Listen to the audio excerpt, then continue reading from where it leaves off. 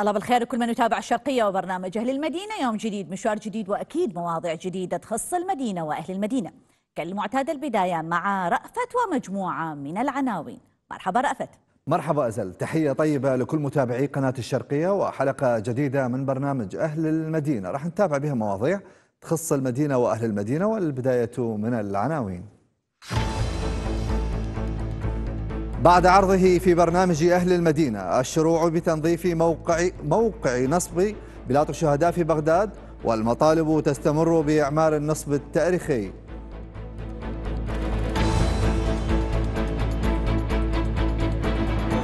مع قرع جرس انطلاق العام الدراسي الجديد المناهج الدراسية تباع في الأسواق السوداء والمدارس الكرفانية أمل الطلبة للخلاص من الطينية.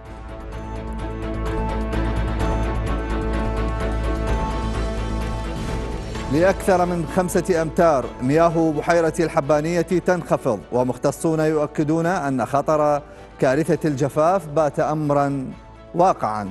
هذه العناوين والتفاصيل بعد الفاصل.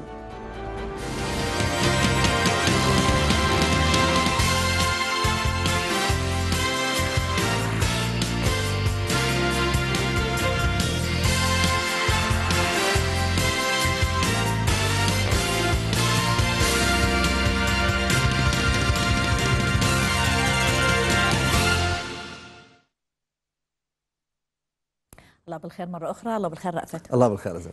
آه لليوم الثاني على التوالي. إحنا أيضا مواضيعنا هي أغلبها عن العام الدراسي والمدارس ومشاكل المدارس وأنا متأكدة آه من الأسبوع القادم يعني لأنه اليوم مو هو يداوموا. صح رغم أنه هناك الملايين قد توجهوا إلى المدارس صح. لكن أكيد راح ينتظم الدوام يوم الأحد آه القادم. فبالتالي راح توصل لنا إحنا المناشدات والمشاكل. ومن اليوم إحنا بدت مشاكلنا إحنا كأولياء أمور.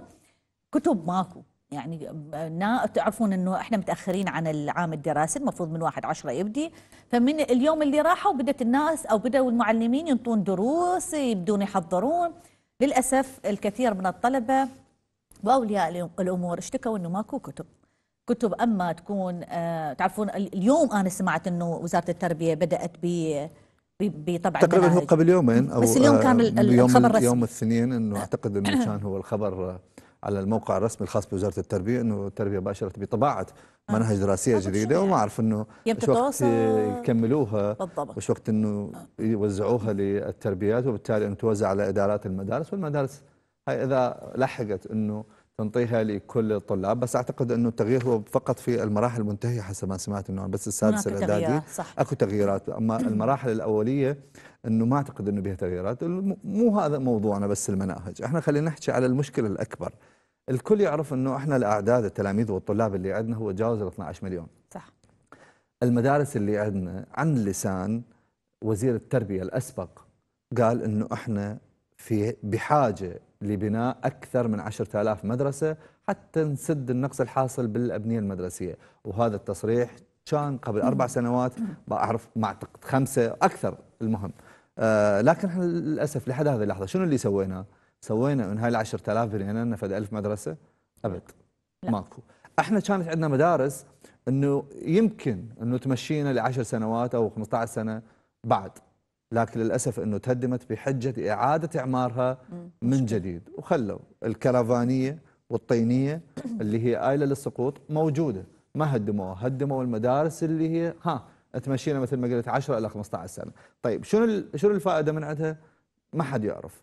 الكل بالبداية فرح إنه استبشرنا خير إنه أكو مشاريع بدأت تحال من دول إلى آه للحكومة العراقية. وزارة التربية بعدين حولت ملف الأبنية المدرسية لمجالس المحافظات.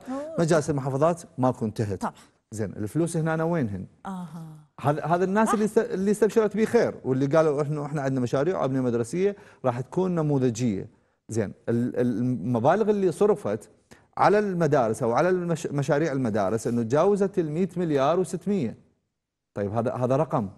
يعني رقم مو بالسهل إنه اليوم إنه نقدر نعوضه. لأنه إحنا ميزانية ما عندنا. فش وقت إنه راح نخصص له أموال وش وقت إنه راح نبدي مباشر بالمشاريع آه، أو نستأنف هذه المشاريع من جديد. بالمشمش. ما أعتقد إنه راح نلحق ولا آه بعدين إنه أكو موضوع مال الحكومة الصينية اللي تبرعت ببناء ألف مدرسة. أيضا هم ما شفناه يمكن مدرسة أو مدرستين. زين الأموال مخصصيها أزل إنه لكل مدرسة كذا مبلغ. إحنا ال- الكل يتذكر قبل موسم أو موسمين في الديوانية مدرسة كلفت 50 مليون صح. بتبرع ذاتي من الأهالي من الأهالي. بنوا مدرسة نموذجية. جنة وهذا الشيء كلش مهم. لكن للأسف إنه إحنا بعدنا متأخرين لأشواط عدة. حكي بهذا يمكن أعتقد يطول هذا الملف. لا لا ما. يخلص. إحنا لا راح نحكي راح نسولف إحنا. هسه اليوم إحنا عندنا هواية قضايا. بس خلينا نبدي بفد شيء إيجابي. شيء يعني يحسب لبرنامج أهل المدينة. آه، آه، فيعني شايفين إحنا نفرح كثيرا لما ما يكون هناك استجابة لقضية معينة. الب- ال- ال- ال- الإعلام هو يطرح القضايا لا يحل القضايا لكن يوصلها للجهات المعنية. قبل حلقتين بالضبط آه، إحنا عرضنا مقطع يخص مدرسة بلاط الشهداء. حكينا بشكل كبير عن هذه المدرسة حكينا عن عن التاريخ اللي حتى مكتوب إحنا إحنا قارينه في في القراءة عندما كنا صغار. وقلنا إنه إحنا مهما فعلتوا الناس في بالها بعض الجهات ترى هذه هذا تاريخ يعني ويبقى موثق. المدرسة كانت يعني مليئة بالنف... مهدمة ومليئة بالنفايات النصب الموجود الذي يخلد هذه ال- ال- الحادثة الأليمة أيضا منتهي. فعرضنا هذا الموضوع للجهات المعنية اللي هي وزارة التربية مع ال- ال- الحكومة المحلية ومع أيضا وزارة الثقافة اللي هي معنية بموضوع النصب. اليوم آه، يعني اللي جاي يشاهدونا هذه كاميرتنا. آه، آه، الحمد لله كانت هناك استجابة. آه، إغلاق طبعا المكان وتنظيف المكان الخارجي و آه، آه، يعني البدء ب آه، بعملية الإعمار مرة أخرى بنائها مرة أخرى. آه، الموقع أو ال- ال- المدرسة تم إحاطتها مثل ما جاي يشوفون بحاجز حتى يتم إعادة إعمارها من الداخل وهذه خطوة إحنا ياما حكينا بها أنه من تريد أنت تعمر مكان يجب إغلاقه بشكل كامل حتى آه، يكون العمل بشكل مخفي وأيضا بشكل صحيح. ولذلك هذه هي الخطوة الأولى تنظيف آه، ال- الأماكن المحيطة بمدرسة بلاط الشهداء آه، وإن شاء الله بدأوا بعملية إعادة إعمارها وتنظيفها وبنايتها مرة أخرى وصيانتها وخاصة النصب الموجود في داخلها. حتى لو ما تم استخدامها مجرد إنه هاي حتى للمكان للمنطقة اللي هي في بغداد الدورة حي المعلمين هو مجرد راح يكون هناك تذكار. أنا ما أعرف إذا راح يستخدموها أو لا. راح نشوف إحنا مقطع الفيديو. شكرا رغم إنه هذا واجبكم لكن الحمد لله هناك من التفت خلال يومين آه، كان هناك تحرك سريع حول الموضوع. الحمد لله والشكر. بعد المناشدات اللي وصلناها للجهات المعنية للأهالي أيضا اللي ناشدوا وصلنا إلى هذه النتيجة. نظفوا الساحة حطوا تشينكو. هذه مرحلة أولى. نتمنى بالمرحلة القادمة أيضا ينشال هذا التشينكو ويصير بناء وتنظيف لهذا الصرح. بناء وتنظيف لهذا المكان. ينشال الزبل اللي موجود داخل المدرسة. يتنظف. هذا الصرح يتعدل. ينبني من جديد يترمم من جديد. أفضل من هذا التشينكو الموجود حاليا. لكن إحنا نقول هذه مرحلة أولى. إن شاء الله القادم يكون أفضل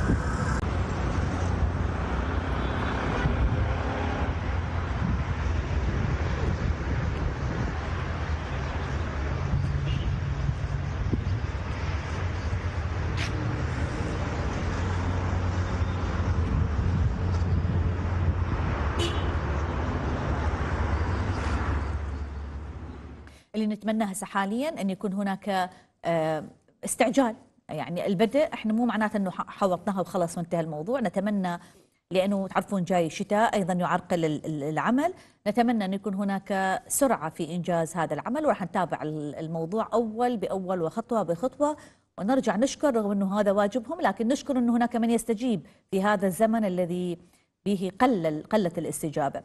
آه، إن شاء الله راح نتابع القضية ونتمنى من الناس أيضا أن تتشجع في إرسال أي مقطع أي صور تخص أي قضية عسى ولعل إنه إحنا من نوصلها للجهات المعنية يتم المباشرة بحلها وإنقاذ ما يمكن إنقاذه في هذا البلد. مهم جدا دائما ما أن نسلط الأضواء على مثل هذه القضايا اللي تمس المواطن بشكل مباشر وأيضا نطرحها وهدفنا من طرح هذه القضايا هو إيصالها للجهات المعنية من أجل الاستجابة بشكل سريع ومعالجة كل هذه المواضيع السلبية اللي تعودنا عليها منذ سنوات ولحد هذه اللحظة مو فقط موقع آه، بلاط الشهداء اللي هو آه، منتهي بسبب الإهمال أو تراكم النفايات كثير من المواقع. لكن إحنا خلينا نحكي بالمدارس. اليوم مدارسنا آه، وإحنا بعام 2022 بعدنا لحد هذه اللحظة عندنا مدارس كرفانية وعندنا مدارس آلة للسقوط وعندنا مدارس طينية والطينية عم اكثرها وعندنا مدارس حتى باب مال المدرسة وسياج ما بيها. عندنا مدارس حتى ساحات ما بيها. عبارة عن غرف طينية وهذه الشعبة شعبة ألف هذه شعبة باء ومرقميها. الإدارة ماكو. زين حالها حال بقية الصفوف اللي موجودة. طيب ليش؟ إنه إحنا وصلنا لهذه المرحلة وإحنا في عام 2022 وميزانياتنا من أهم الموازنات الدولية في المنطقة. يعني عندنا أموال طائلة جدا عندنا أرباح تجينا من إيرادات النفط أيضا كبيرة جدا. إحنا بعدنا لحد هذه اللحظة باقين ننتظر. وإذا نريد نحكي على الكرفانية فالكرفانية هي مو تبرع من وزارة التربية العراقية أو من الحكومة العراقية لا تبرع آه، دولة آه، الكويت الشقيقة دولة الإمارات. هذه الدول اللي تبرعت لنا بمدارس كرفانية. للأسف هذا العراق أيوة. العراق اللي المفروض هو يتبرع لكل دول العالم. هو ينطي لكل الناس المحتاجة والما محتاجة. هسه إحنا صرنا نستقبل ونتقبل هذه العطايا والهدايا. اللي ما اعرف أكيد مانين بها علينا. إضافة إلى إنه عندنا أربع محافظات هي تعرضت للدمار في عام 2014 هذه المحافظات إنه خصصت لها أموال طائلة جدا من أجل إعادة إعمار آه، المدينة بشكل كامل ومن ضمنها المدارس. طيب لحد هذه اللحظة بنوا بها مدرسة؟ ما نريد نقول مدرسة نموذجية. لا بدأوا بها مدرسة إنه الطالب okay يروح يلقى أكو مغاسل يلقى إنه أكو مي يشربه يلقى أكو آه، آه، ساحة يلقى أكو يعني class إنه أو صف إنه برحله بشباك بسبوره زينة. لا ماكو كل هذه ما موجودة. فاذا اللي شاهدناه يوم أمس الوقفة اللي كانت في آه، كربلاء المقدسة واللي تحدثنا عنها في حلقة يوم أمس كانت أنه آه، إحدى الرسائل اللي موجودة واللي شاهدناها آه، بشكل مباشر أنه مدارس بلا حقوق. فإحنا اليوم كل المدارس العراقية هي بلا حقوق. بس اسمها مدرسة مهملة من قبل الجهات المعنية المتمثلة بوزارة التربية أو إدارة التربيات اللي مسؤول عنها، لأنه أي مدير تربية ما عنده الجرأة الكافية اللي يروح يواجه بها الوزير ويقول له يابا تعال إنه أنا المدارس اللي تابعوا ضمن الرقعة الجغرافية آه لدائرتي أو لتربيتي إنه بيها مشاكل وحده اثنين ثلاثة، عندنا نقص بالكوادر التربوية، عندنا نقص بالكتب والمناهج الدراسية، عندنا نقص بالمقاعد الدراسية وغيرها من الأمور، لا ما عندهم، من يقول له ها شلون الوضع؟ يقول له والله أستاذ جيد. الحمد لله والشكر ما دام انت موجود إحنا بخير. كل مدارسنا بخير. طلابنا أصلا ممتنين من عندك. ويتشكرونك لأنه أنت آه، سألت عليهم. وهذا اللي دائما ما يحدث عند كل المدراء أمام مسؤوليهم الأعلى من عندهم. إذا كان وزير أو مدير عام أعلى من عنده آه، بالصفة أو بالمسمى الوظيفي. آه، إحنا حتى نسولف تفاصيل أكثر عن المدارس بلا حقوق والوقفه اللي شاهدناها أمس واللي تم عرضها أيضا في البرنامج ينضم لنا الناشط المدني من كربلاء المقدسة علي حاكم. مرحبا علي. مرحبا مساء الخير عليكم وعلى كل المشاهدين الكرام. حياك الله. علي آه، بداية خلي آه، نبدي من مدارس بلا حقوق شلون إنه قدرت إنه توصل الواقع المأساوي والمرير اللي عايشته كل المدارس العراقية بجملة من ثلاثة كلمات مدارس بلا حقوق نعم إحنا تعودنا في كل سنة دراسية يعني تمر مرور الكرام نشاهد في بداية نعم. المدرسة تهنئة من الوزير الفلاني وتهنئة من المحافظ الفلاني نعم. وتنتهي بداية السنة الدراسية الجديدة بالتهنئات ولكن تبقى المنغصات كما وصفتوها وتبقى المعاناة باقية لهؤلاء الطلاب اللي يحاولون إكمال تعليمهم رغم كل هذه الظروف. فأردنا أن نوصل رسالة إلى أن التعليم في العراق هو أشبه بالسجون أشبه بالزنازين. هذا التعليم لا يلبي أي من طموحات أو نترك الطموحات لا يلبي أبسط الاحتياجات فعلا آه علي إنه آه وصف دقيق وتشبيه مثل ما مثل ما يقال في العاميه تشبيه قاتل لأنه إحنا اليوم السجون العراقية اللي موجودة عندنا واللي تابعة لوزارة العدل العراقية هي آه سجون غير إصلاحية، إحنا نعرف في كل دول العالم إنه السجون تكون إصلاحية، فايضا اليوم المدارس اللي عندنا موجودة للأسف إنه هي ما بها لا مستوى تعليم ولا مستوى آخر ممكن يقدموه للتلاميذ اللي موجودين داخل هذه المدارس. بعد ما صارت هذه الوقفة وأكيد آه، كان لها صدى كبير منذ يوم أمس ولحد هذه اللحظة. الجهات المعنية في كربلاء المقدسة والمتمثلة بتربية كربلاء. آه، أكو ردود من قبلهم إنه أحد قال لك إنه لا إحنا راح نغير الواقع في المدارس اللي موجودة في كربلاء. راح نضيف وحدة اثنين ثلاثة راح نغير بالمناهج راح نغير بكذا لو لحد هذه اللحظة وكأنه شيء لم يكن ولا آه، تم مشاهدة هذه الوقفة اللي صارت في كربلاء المقدسة. نعم. الحقيقة بعد هذه الرسالة النقدية اللاذعة اللي قدموها هؤلاء الأطفال من خلال حدثنا الفني اللي قمناه. ما بقى أي استجابة كالعادة. ولكن من المضحك أنه شفنا اليوم آه، في مديرية التربية في كربلاء تنشر صور لمدرسة معينة ويوزعون بعض من الأشياء التغذية. وصوروا هذه المدرسة ونشروا بعنوان مدارس كربلاء بهذه العمومية تستقبل العام الدراسي الكبير. فإحنا سألناهم هل يوجد أكثر من 3000 مدرسة في كربلاء؟ هل في كل هذه المدارس المدارس الآن تم استقبال العام الدراسي هكذا أم فقط في هذه المدرسة ولوجود المحافظ ومدير التربية فيها. فاليوم الحقيقة إذا كانت الاستجابات هي استجابات للترند واستجابات إلى مواقع التواصل فلا يمكن إصلاح التعليم بهذه الطريقة. وأنا أسأل مديرة كربلاء أو بالأحرى أسأل كل وزارة التربية والتعليم هل كل هذه المدارس تستقبل العام الدراسي بهذه الطريقة؟ أكو مدارس ماكو رحلات. أنا اليوم معاكم باللقاء جالس على هذه الرحلة حتى أوصل رسالة مهمة أن هنالك طلاب بدأوا عامهم الدراسي ولا يملكون مثل هذه الرحلة. اليوم الأهالي كلهم يعانون من مشكلة المناهج الدراسية. المناهج الدراسية الجديدة وزعت بنسبة أقل من 40% وفي بعض المناطق أقل. يعني الطالب يستلم كتاب واحد جديد وبقية الكتب قديمة وبالتالي تأتي في أعناق العوائل الفقيرة اللي هي آه، لا تجد قوت يومها فبالتالي تتحول إلى شراء هذا الكتب. نعم. اليوم إحنا اللي نريده لا نريد حقوق يعني آه، حلول ترقيعية. ولا طيب نريد علي مواكبة علي انت أنت معلم؟ يعني نعم انت أنت نعم. معلم لو فقط ناشط؟ لا أنا فقط ناشط مهتم بقضايا التعليم يعني بالتالي أنا لا معلم ولا فنان ولا صانع محتوى. الحمد ولكن لله أنا تدري ليش لي مو معلم؟ كان انفصلت هسه. على هذا كلامك لو كنت معلم كان اللاصق. طيب إحنا صحيح. طيب آآ آه، آآ يعني الموضوع هو مو حديث مو مو حديث الساعة. هو صار له سنوات وتعرف هذا الموضوع تراكمات. آه، يعني باعتبارك أنت مهتم بهذا الموضوع. من أين نبدأ؟ يعني هي القضية متعلقة ماديا تعتقد فقط هي وتحل هذه المشاكل في المدارس.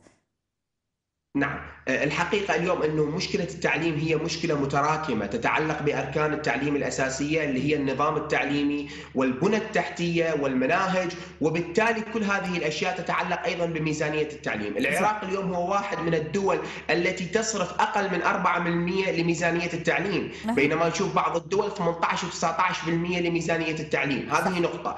النقطة الأخرى لا توجد استراتيجية واضحة. هذه الاستراتيجية تلتزم بالمواثيق والسياسات الدولية. يعني العراق في الشهر الماضي شارك الجمعية الأمم المتحدة في قمة تعرف بقمة التعليم وصراحة استغربت يعني كمتابع ومهتم بالشأن التعليمي بكلمة العراق في هذه القمة وهم يصفون النظام التعليمي والجو التدريسي في العراق وكأننا في دولة أوروبية. ولكن الواقع مختلف. لذلك كانت رسالتنا من خلال هذا العمل أن نوصل ما هو واقع التعليم إلى كل الدول. فاليوم حتى نبدأ باستراتيجية فعلية. لابد أن نبدأ بكل أركان أركان التعليم بداية من النظام التعليمي إلى نظام التعليم إلى المناهج الدراسية والأهم لحقوق المعلمين. طيب. اليوم إحنا نشوف معلمين يحاولون أن يبذلون أقصى ما في جهودهم ولكن حقوقهم أيضا مغيبة. بالتالي المعلم لا يستطيع أن يقدم أسلوب جديد. إذا كانت البنى التحتية لا تسعف في ذلك. طيب يعني إذا كان صف فيه 50 نعم. طالب نعم ابقى ويانا إحنا راح نعرض مقطع الفيديو اللي هو خاص بالموضوع اللي هو أنت مثلت بسجن. على فكرة هذا الموضوع ما يخص فقط كربلاء. هذه يعني الصور أو مقطع الفيديو أو هذه اللقطات التمثيلية هي. تخص العراق ككل. إحنا عندنا نسبة كلش قليلة من المدارس هي بيها بعض المميزات. الأهلية مثلا صارت. ولذلك المدارس الأهلية هي أصبحت أكثر بكثير من المدارس الحكومية. والناس آه، تضطر إنه تبيع ممكن أشياء من منزلها في سبيل إنه تسجل صح. أولادها في المدارس الأهلية أو تداين آه، أو إنه هي إذا كانت ما عندها فهي تجبر على الذهاب إلى المدارس الحكومية اللي هي أصلا خارجه عن التصنيف وكل العالم لا يعترف بهذه المدارس ولا بشهادات هذه المدارس نتابع هذا المقطع وعلي طبعا اللي اللي فكر بهذا أو صاحب الفكرة راح يبقى ويانا ونتواصل وياه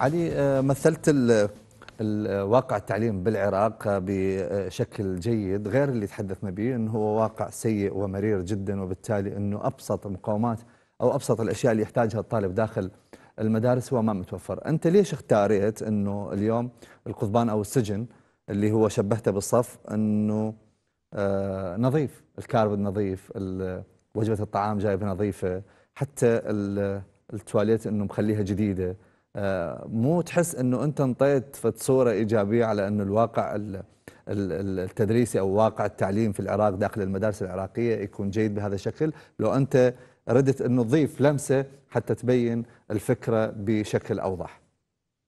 نعم. آه، إنه هو هذا هذا العمل الفني هو من جزئين، الجزء الأول اللي هو داخل القفص، وداخل القفص مثل ما نشوف هو سجن. لا ليس فيه أي شيء. وفيه هذه المروحة اللي اللي يعني شلون نسميها يعني آه، المروحة المكسورة، أما خارج حتى القفص انت مختارها إنه نظيفة، صح إنه هي كانت إنه شكلها منتهي بس إنه نظيفة. لا المروحة إذا نشوفها هي مروحة مكسورة يعني مروحة مبينة يعني أوكي تمام. أنا بدي أقول لك بس أنت جايبها نظيفة لأنه إحنا ما عندنا مروحة داخل الشعب أو داخل الصفوف نظيفة وهي بهذا الشكل يعني. أنا هذا اللي دا قصده يعني. الحقيقة جبت هذه المروحة هي أيضا من نفس الصفوف اللي موجودة. ما خارج القفص آه، السجن هو يمثل طموحات هؤلاء الأطفال. وبالتالي هم لا يستطيعون الوصول إلى طموحاتهم، يعني هذا المرحاض النظيف هو حق إلى هؤلاء الطلاب، ولكن هم لا يستطيعون الوصول إليه لأنهم مقيدين بهذا السجن، والسجن يمثل الواقع التعليمي في العراق، فهذه المروحة اللي نشوفها هي تمثل واقع التعليم. أما المرحاض والتغذية المدرسية والرياضة والفنية اللي تنسرق في أغلب مدارسنا والمناهج والقرطاسية هذه الأشياء هي غير موجودة لا يستطيع الأطفال من الوصول إليها. طيب علي بس آه، يعني البارحة إحنا شرحنا الفكرة بشكل يعني مفصل حتى كرة القدم إنه ماكو لا ماكو درس الرياضة ودرس الفنية وكل هذه اللي هي المفروض إنه تكون متوفرة في المدارس. وحتى أنا حكيت بموضوع الحمام وقلت هذا أهم. ممكن الأكل إحنا ننطي كأولياء أمور ننطي لأولادنا الأكل ياخذوا وياهم أو يشترون من هناك. لكن موضوع الحمام أنا قلت لساعات طويلة يبقون هم يضطرون إنه يبقون يتحملون من يرحون إلى أن يرجعون إلى بيتهم يلا يدخلون إلى الحمام. فبالتالي إحنا عندنا نسبة كبيرة من الطلبة يصابون بالتهابات المثانة والحصى والرمل والعجز الكلوي ومشاكل كثيرة في المثانة. نتيجة بقائهم لساعات طويلة. وهذا موضوع كلش مهم وحساس. المفروض إنه وزارة التربية والحكومات تفكر به لكن هي لا تهتم. نقطة يعني أنا صار عندي فضول. ما شفت بنات معكم بال بال بهذه خلينا نسميها الحملة الفكرة. أكو طالب أكو تلميذات لو فقط وليش بس تلاميذ؟ لو أني ما شفت. نعم إحنا مشروعنا هو إحنا مشروعنا يستهدف كل الفئات سواء كان الأطفال آه، من يعني من الذكور أو من الأناث. ولكن في هذا العمل ولحساسية يعني آه، مدينة كربلاء لها خصوصية نوعا ما محافظة فبالتالي لا يمكن أن نضع يعني آه، البنات في هذا العرض. فإحنا استخدمنا يعني أو وبالتالي يعني قررنا إنه الأطفال هم من يشاركون في هذا العرض الفني باعتبارهم عندهم قدرة تحملية أكثر. ومن نعم. جانب آخر حتى نوصل رسالة يعني بالتالي لا يتم نقد العمل أو يؤخذ آه فهمتك أخرى يعني إحنا مرينا بعد فهمتك بعدت عن الشر وغنيت له. حتى حتى لا تصير مشكله يعني. بس حتى إحنا حتى نقول يعني إنه هي هي القضية ما تخص فقط التلاميذ هي تخص جميع الذكور والأناث كلهم يعانون نفس المعاناة. قد يكون البنات عندهم أصلا مشاكل أكثر وأكبر. إحنا نشكرك علي حاكم آه ناشط مدني من كربلاء. منذ البارحة إحنا نحكي بالقضية. القضية شوفوا إحنا ماكو داعي نكذب على نفسنا. هذا واقع حال مال إنه تطلع محافظة تنشر صور تقول إحنا اليوم كلهم طبعا نشروا أغلب المحافظات دقينا الجرس يروحون إلى مدرسة نموذجية وحدة يختارونها من قبل أسبوع قاعدين يجلفون بيها وصبغوها ولازم يلبسون زي موحد. وقالوا للطلاب اختاروهم يعني المرتبين يوقفون بالبداية. هاي يعني نسميها إحنا الكلاوات بين قوسين. حافظينها إحنا ملينا من عندها وجيبوا فواكه والضيوف جايين والجرس مرتب هو جرس صار ماكو بالمدارس. إحنا ليش نكذب على نفسنا يعني الناس يدقون على البيبان ترى حتى في سبيل إنه يقولون ترى فرصة. هاي إذا أكو فرصة نعرف ان الوضع بائس بائس بائس بائس. ووزارة التربية من فشل إلى فشل أكبر. ما عندها إنجازات غير أنا أقول لكم شنو يحسب إنجاز بالنسبة يعني لها ممكن كان الدور الثالث لبعض الناس واستفادوا من عنده للأسف وصعدوا الكسالة واللي ما يعرفون يكتبون اسمهم.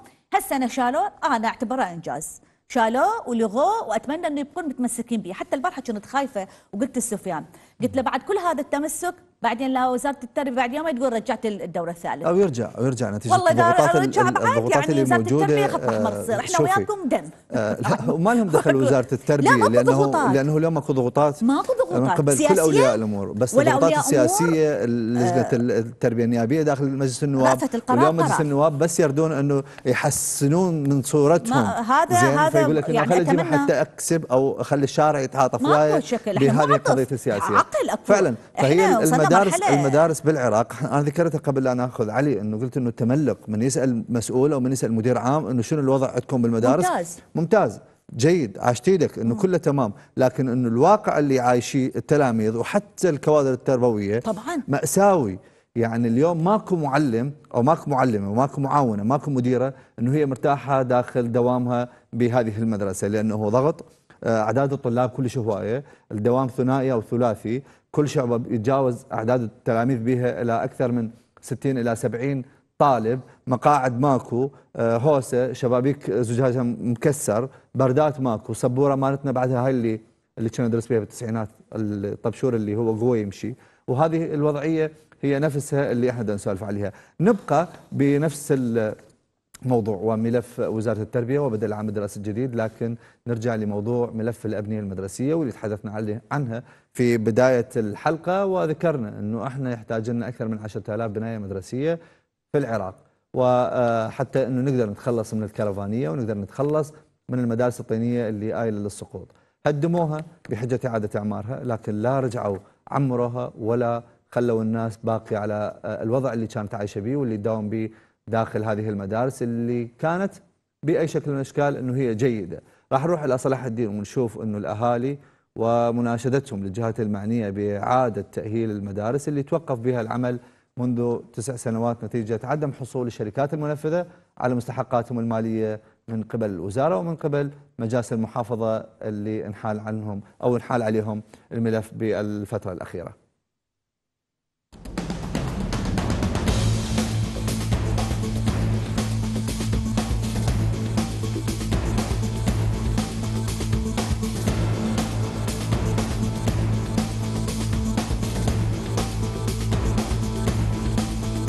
إحنا اليوم كمواطنين نبوع على أطفالنا على ولدنا دا يروح للمدرسة مالكو. أغلبيتهم مدخليهم مدارس أهلية وبالإضافة مدخليهم مدار يعني أساتذة خصوصيين يأخذون فلوس. وهاي المدارس مثل ما تشوف عينك انصرفت عليها فلوس وللنص وتوقفت. وين بقية الفلوس؟ لو إحنا نطالب بمحاسبة المقصرين المقصر اللي المقاول اللي استلم هاي المدرسة وكملها لهنا وين بقية الفلوس؟ الدولة تصرف كاش محافظة بغداد. المركزية تصرف كاش كامل لكن اليوم توصل المحافظة وتتباخر الفلوس. اذا الخلل موجود هو بالمحافظة. طالب بتفعيل المدارس اللي متوقفة وبناء وبنائها من جديد وإعادة الإعمار بها وإنش...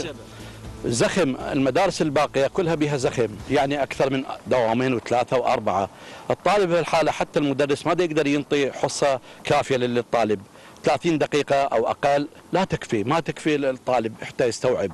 يعني قبل كنا 50 دقيقة 45 دقيقة يعني كافية. الآن 30 دقيقة. الطالب ما دا يستوعب المدرس ما دا يقدر يعني ينطي آه، للطالب يوصل له المنهاج بصورة صحيحة. مدارس لحد الآن ما كملانه بعموم المحافظة يعني مو بس بقضاء التكريت. وأكو مدارس بها الأعداد هائلة يعني كل صف في 50 طالب حسب مناطقنا موجود هذا الشيء بعد كم يوم تبدأ العام الدراسي الجديد ولحد الآن المدارس الآن ما كملانه أكو مدارس ما كملت وعلى شكل يعني مدارس أكو بها ثلاث دوامات وما يلحقون آه، الكادر التدريسي يدرسون آه، بصورة جيدة.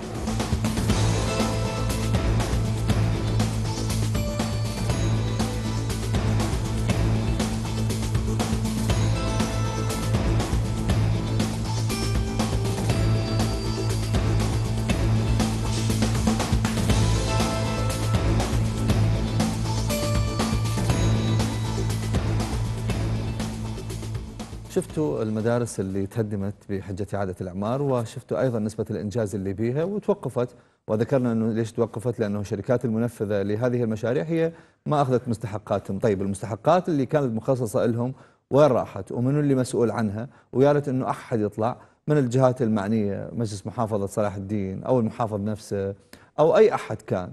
مو فقط في صلاح الدين بل في كل المحافظات العراقية. ويقول لنا إنه مثلا الأموال اللي كانت مخصصة لبناء هذه المدارس وين راحت وليش إنه المدارس ما كملت لحد هذه اللحظة؟ وإحنا بدينا بهذا المشروع منذ عام 2010 ولحد هذه اللحظة. يعني صار 12 سنة إنه مدارسنا مهدمة. ما أعرف إذا هي خطة حتى إنه تطيحون بالتعليم والتربية بالعراق. فقولوا ولو هي واضحة ما يحتاج تقولون إنه لأنه دمرتوا المجتمع بسبب آه، تدميركم للبنى التحتية لوزارة التربية وللتعليم أيضا، أما إذا عندكم فكرة ثانية يا ريت إنه أيضا توصلوا لنا إياها وتقولون لا ترى عمي إحنا الأموال المخصصة لهذه المدارس. موجودة بالحفظ والصون ويا ريت أنه يجينا أحد يستلمها من عندنا حتى يكمل آه هذه المشاريع اللي بدأت وتوقفت ويخلص كل التلاميذ وأولياء الأمور والكوادر التربوية من هذه الوضع الوضعية المأساوية اللي عايشيها منذ سنوات ولحد هذه اللحظة. طيب نترك شوية وزارة التربية على يعني على أمل إنه باكر إحنا نحكي بمواضيع ويا ريت تكون إيجابية نتمنى فعلا. أن يكون هناك تغييرات إيجابية في المستقبل القريب نروح إلى موضوع الجفاف اللي دائما نتحدث به في أهل المدينة والقضية كلش مهمة لأنها تخص حياتنا. مباشرة إلى الأنبار إلى مراسلنا هناك مصطفى الحامد حتى نحكي عن جفاف آه، بحيرة الحبانية. مو شيء جديد طبعا ومو غريب. وكنا نتوقع هذا الشيء. حالها حال بقية البحيرات والأهوار. وإحنا عندنا دجله والفرات أصلا هسه حاليا على شفا أن يموتا بسبب الجفاف. مصطفى أهلا بك احكي لنا ماذا اللي حدث في بحيرة الحبانية. هذه البحيرة اللي المفروض إنه يجوا لها يعني تعرف هسه خلينا نقول شتاء لكن هي المفروض إنه إحنا فتحناها كمكان سياحي مكان بالكثير من الذكريات. موت بحيرة الحبانية موت الكثير من الأشياء وعلى رأسها طبعا الذكريات والأشياء المهمة. كنا ما الذي حدث في هذه البحيرة؟ عسى ولعل أنه يوصل صوتنا للجهات اللي ما جاي تحس على نفسها. نعم أزل بالسابق كنا نتحدث عن موضوع الجفاف لكن اليوم نتحدث عن عفن المياه والجفاف وبالتالي اليوم هناك معاناة كبيرة جدا آه، الأراضي الزراعية بالنسبة لمربي الأسماك وصيادو الأسماك. آه، اليوم الحياة توقفت بشكل كامل يعني شنو عفوا؟ خلي خلي آه، نفسرها. يعني نمو طحالب تؤثر على المياه؟ نعم نعم أجل الشمبلان القصب البردي. يعني هذه النباتات بدأت تنمو بصورة آه، سريعة وكبيرة جدا وذلك بسبب ركود المياه وقلة نعم. تدوير المياه آه، يعني كما تعرفين آه، توقف الإطلاقات من الدول المتشاطئة المتعاملة مع العراق سببت كانت سببا بركود المياه والتلوث الآن في العشرين من تموز الماضي باشرت وزارة الموارد المائية ب بعد استنزاف المياه في ناظم الورار في الرمادي وأيضا في سد حديثة. بتحويل آه، مياه الحبانيه إلى آه، مجرى نهر الفرات آه، مرورا بالفلوجة وصولا إلى المحافظات الجنوبية ومن ثم إلى شط العرب في البصرة. تمام. بالحقيقة الحال يعني مخيف جدا. يعني آخر ما توصلنا إليه هو عفن المياه. يعني هذه مصيبة كبيرة جدا. طيب الجهات المعنية الحكومية في الأنبار هل لديها علم بما حدث؟ هل هناك تحرك؟ لو عاد الموضوع يعني مر مرور الكرام. بالتأكيد أزل يعني دوار الموارد المائيه يعني مباشرة بموضوع الكري آه، موضوع آه، محاولة آه، تغيير مسارات وذلك من أجل تدفق مياه بصورة أسرع وأكبر. القوارب يعني رست على على الجفاف توقفت مشاريع الصيد مشاريع تدوير الأسماك إلى بالنسبة للصيادين. الحبانية بحيره الحبانية لا تتحدث عن مدينة سياحية فقط. الحبانية قضاء كبير جدا آه، من آه، قضاء الخالدي من عفوا قضاء الحبانية من بين الفلوجة والرمادي وصولا إلى المدينة السياحية بحيرة كبيرة جدا بمنطقة كراشان. هذه اللقطات التي تظهر بجانبه هذه المنطقة الحبانية القديمة يعني حاليا المزروعات المستفادة يعني كلها قاعد ماتت أو جاي تموت؟ يعني يعني الموضوع ما يقتصر على جهة معينة أو مساحة معينة؟ أكيد أكيد يعني المزروعات الأراضي الزراعية آه، الثروة السمكية. كما أسلف الثروة السمكية يعني أصبحت بخطر خطر الإبادة آه، يعني تعفن المياه هو موضوع خطر جدا. ليس على الثروة السمكية فقط ولكن على حياة المواطن العراقي بصورة عامة. يعني تعفن المياه هو خرابة يعني ركود المياه قد يخرج أغلب الاسالات عن الخدمة وذلك بسبب صعوبة صعوبة تصفيه المياه وجود أيضا دائرة المياه قامت بوضع امتصاصات مصطفى عذرا إذا إذا تسمعني المحطات الاساله التصفيه في قضاء الحبانية كلها من هذه البحيرة لو أكو مصادر أخرى تغذي المحطات من أجل إيصال المياه الاساله إلى المنازل بشكل سلس، الحبانية لو أكو مصادر أخرى. رأفت رأفت وانهار الفرات يعني يعتمد تعتمد عليه محطات الاساله بمحطة نعم. الأنبار بصورة كاملة ولكن بحيرة الحبانية هي محطة خزين محطة خزين للمياه يتم الاستفادة منه في في مثل هذه الظروف ولكن الظروف كانت أكبر من المتوقع يعني استنزاف سد حديث استنزاف ناظم الورار والآن طيب. بحيرة الحبانية يعني بعد بحيرة الحبانية طيب. بما أنه أنت تواصلت مع الجهات المعنية المتمثلة بالدوائر التابعة لوزارة الموارد المائية انخفاض خمسة أمتار يعني كارثة. هناك معلومات أو هناك أخبار أنه القادم راح يكون أكثر جفاف أنه ممكن توصل لعشرة مثل ما عرضنا في تقرير اليومين الماضية 15 متر كان انخفاض. للأسف يعني التقارير الرسمية تتحدث عن 5 أمتار فقط ولكن الواقع يتحدث عن مسافة أكبر نعم. من الجفاف يعني بحسب مواطنين التقيناهم في منطقة الحبانيه القديمة يعني بالمسافة التي تم ذكرها من المكان الذي وصل إليه المياه وحتى مطلع اليابس التي كان موجود به المياه يصل إلى تقريبا 9 و10 أمتار يعني مسافات مخيفة ومرعبة جدا قد تسبب طيب مصطفى بشكل بشكل سريع. يعني الناس المعتمدة مثلا على صيد الأسماك هذا هذا رزقهم انقطع هسه حاليا. الناس اللي عندها مزروعات هذا رزقهم انقطع. هذول وين راحوا هسه حاليا؟ إحنا نعرف بالأهوار صار هناك هجرة جماعية وترك لأماكن الأهوار نتيجة الجفاف وموت حيواناتهم.